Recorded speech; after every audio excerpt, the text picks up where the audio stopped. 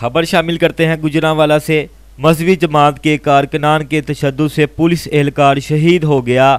Police तर्जमान के मुताबिक constable Adnan एहसान को मजहबी जमात के कारकुनों ने तशद का निशाना बनाते हुए शहीद कर दिया और पुलिस एहलकार की लाश बरोकी नस डेरा गुजरा के खेतों में फेंक दी थी, जिसको पोस्टमार्टम के लिए तहसील हस्पताल वजीराबाद मुंतकिल कर दिया। इस तर्जमान के मुताबिक कांस्टेबल अदनान एहसान वजीराबाद में टीएलपी के धरने पर ड्यूटी के फ़राइज अंजाम दे रहा था, जिसने शहरियों के जानो माल के तहफ़ के लिए जाम शहादत नोश किया।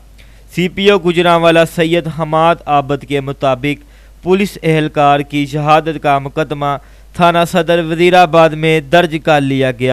कैमरा टीम के साथ अब्दुल वहाब, अवामी रंग न्यूज़, गुजरावाला।